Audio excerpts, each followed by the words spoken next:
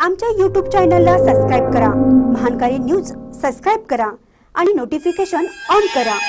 Notification on केल्यामुळे आमचे update आपल्यापर्यंत सतत पोहोचेल.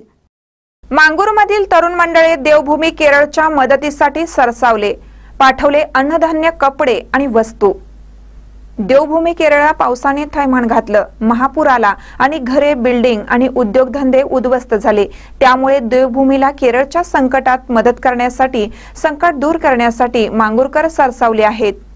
निपाणी तालुक्यातील मांगूर येथील साई कॉर्नर तरुण मंडळ छत्रपती शिवाजी तरुण मंडळ धर्मवीर संभाजीराजे चौक यांच्या वतीनं देवभूमी केरळ येथील पूरग्रस्तांना बेघर झालेल्या कुटुंबियांना मदतीसाठी या मंडळाने आपला हात पुढे केला आहे.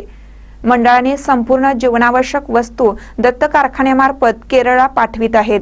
यामध्ये अगदी काडेपेटी मेणबत्तीपासून अन्नधान्य कपडे पांघरून बिस्किटे डाळी आटा यासह संपूर्ण जीवनावश्यक वस्तू या मंडळाने ज- जमवून त्या बेघर झालेल्या लोकांना दत्त कारखान्यामार्फत देवभूमी केरळला पाठवण्यात येत आहेत.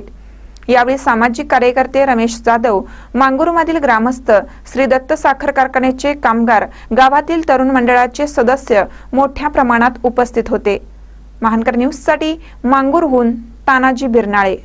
पंधरा दिवसापासून आपण पेपरच्या माध्यमातून टी व्हीच्या माध्यमातून पाहतोय की केरळमध्ये जे महापुरामुळे जो जलप्रलय झालेला आहे त्यामध्ये फार मोठ्या प्रमाणात जनतेचं नुकसान झालेलं आहे.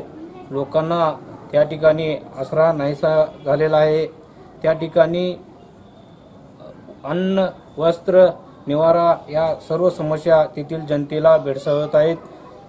या केरळमधील आमच्या बांधवांच्या मदतीसाठी आम्ही साई कॉर्नर तरुण मंडळाच्या माध्यमातून आज या ठिकाणी जीवनावश्यक वस्तूंचा या ठिकाणी आम्ही शिरोळ कारखान्याच्या माध्यमातून केरळला जे सहाय्य देत आहेत त्या ठिकाणी आम्ही आमच्या मंडळाच्या माध्यमातून या ठिकाणी अन्न वस्त्रच्या माध्यमातून म्हटलं तर या ठिकाणी आम्ही तांदूळ असून दे लहान मुलांच्या खाऊचं पदार्थ असून देत किंवा जी कपडे साड्या असून देत शर्ट पीस पॅन्ट पीस किंवा चादर वगैरे असे जे अत्यावश्यक वस्तूंचे जे आहेत त्या आम्ही आमच्या मंडळाच्या माध्यमातून या ठिकाणी फुल फुलाची पाकळी म्हणून या ठिकाणी आम्ही आमच्या मंडळाच्या वतीनं देत आहोत व त्या प्रलयामध्ये जे आमचे केरळमधील बांधव आहेत त्यांच्या सुख